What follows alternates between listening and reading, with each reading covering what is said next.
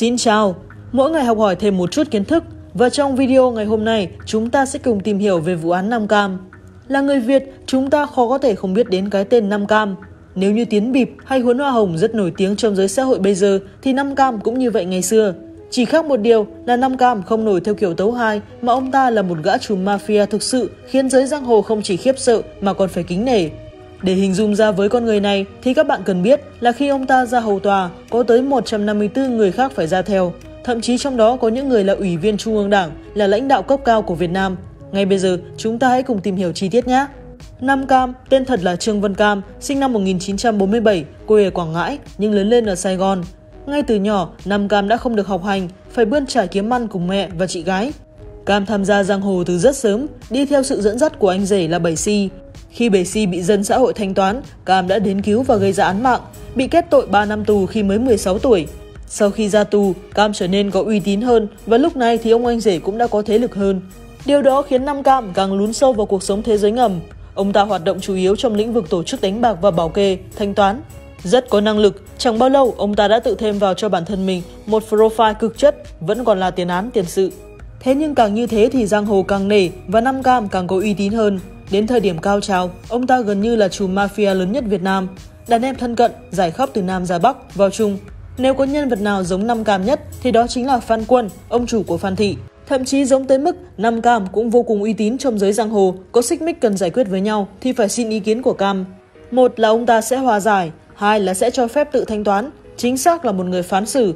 Nhưng nếu đúng ra mà nói thì Phan Quân cũng chẳng là gì so với Nam Cam, vì ông chủ tịch Phan Thị chỉ là chùm trong một tỉnh, còn Cam thì trong cả một nước. Nếu xét về mối quan hệ ngoài các doanh nghiệp, các tổ chức trong thế giới ngầm, Nam Cam còn có quan hệ thân thiết với nhiều cán bộ quan chức, đặc biệt là ở thành phố Hồ Chí Minh. Thậm chí còn có những người bị Nam Cam mua chuộc đang giữ chức vị cực khủng trong bộ máy nhà nước là lãnh đạo của Trung ương. Là ai thì ở cuối video các bạn sẽ rõ. Thế thì tại sao một người có thế lực khủng như vậy, tiền bạc rất nhiều và tầm ảnh hưởng rất lớn lại bị bắt ra hầu tòa? Thực ra bắt được Nam Cam cũng chẳng phải là dễ dàng gì. Đó là công sức cực lớn và hy sinh của ngành công an và các lực lượng có liên quan. Dù sao thì gây nhân nào ắt sẽ gặp quả ấy. Những việc làm của Nam Cam có kín cỡ nào thì trước sau cũng bại lộ và Nam Cam thì không có ít tội. Tội thứ nhất là vào năm 2000, ông ta có một đàn em thân cận là Dung Hà quê ở Hải Phòng. Sau khi vào thành phố Hồ Chí Minh vừa được Nam Cam nâng đỡ thì Dung đã lớn mạnh và quay ra làm phản. Để giải quyết kẻ bất trung này, Nam Cam đã sai đệ ruột là Hải Bánh trừ khử Dung Hà. Vậy là Nam Cam đã mắc vào tội giết người với vai trò chủ mưu. Điều thú vị ở đây là Hải Bánh lại chính là đàn em cũ của Dung Hà, được chính Dung Hà giới thiệu với Nam Cam. Như vậy, Nam Cam đã dùng chính đệ tử cũ của kẻ phản bội để tiêu diệt kẻ phản bội. Tội thứ hai của Nam Cam đó là hối lộ. Từ năm 1995, khi Nam Cam phát hiện ra mình đã bị công an điều tra, sau đó tiếp tục bị đưa vào trung tâm giáo dục cải tạo. Nam Cam đã trực tiếp đi đưa hối lộ và chỉ đạo vợ con, đàn em của mình nhiều lần đưa hối lộ cho nhiều tổ chức, cá nhân. Trong đó, người nhận hối lộ có chức vụ cao nhất là ông Trần Mai Hạnh, nguyên Tổng Giám đốc Đài Tiếng Nói Việt Nam và ông Phạm Sĩ Chiến, nguyên Phó Viện trưởng Viện Kiểm sát Nhân dân tối cao. Sau khi đi cải tạo về, Nam Cam lại tiếp tục tổ chức hoạt động cờ bạc và để thuận lợi làm ăn, Cam lại đi hối lộ, tạo mối quan hệ với nhiều cán bộ công an ở địa phương. Tổng số tiền và tài sản mà Nam Cam đã hối lộ không có thông tin chính xác, nhưng theo nguồn tham khảo thì nó khoảng 3.600 cây vàng theo giá trị hiện nay. Ngoài ra thì Nam Cam còn phạm nhiều tội như cố ý gây thương tích, đánh bạc, tổ chức đánh bạc, che giấu tội phạm, tổ chức đưa người khác trốn đi nước ngoài.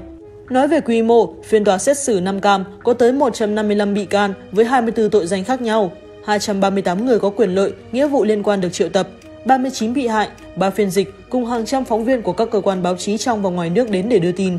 Trong số 155 bị can thì có 21 người nguyên là cán bộ công chức nhà nước để đảm bảo đủ điều kiện cho công tác xét xử. Do đây là vụ án lớn, con số bị can quá đông, một số kinh phí tương đương với 6 tỷ đồng quý giá theo giá vàng hiện tại đã được chi ra nhằm mục đích mở rộng và nâng cấp trang thiết bị cho phòng xử án. Tham dự phiên tòa còn có 80 luật sư bảo vệ quyền lợi cho các bị cáo và người bị hại. Phiên tòa được xử trong 57 ngày, không kể ngày cuối tuần, ngày lễ Tết và được các hãng truyền hình, phát thanh của Trung ương và địa phương tường thuật trực tiếp. Sau khi xét xử, tòa đã tuyên án tử với 5 cam về hai tội, 49 năm tù với 5 tội còn lại, tổng hợp hình phạt là tử hình. Ngoài ra còn có 5 người khác cũng nhận án tử và có 4 người bị trung thân và hàng trăm người khác vào tù. Đây là vụ đại án làm chấn động Việt Nam. Các bạn thấy, dù có đến tầm cỡ như Nam Cam thì vẫn vào tù bình thường. Thậm chí khi ra tòa, Nam Cam còn sợ hãi, có lần bị bắt còn té ra quần Cho nên chúng ta hãy cứ là người lương thiện, kiếm tiền chân chính thôi các bạn nhé. Luật nhân quả thì không ai mà tránh được. Cảm ơn các bạn đã xem video. Xin chào và hẹn gặp lại!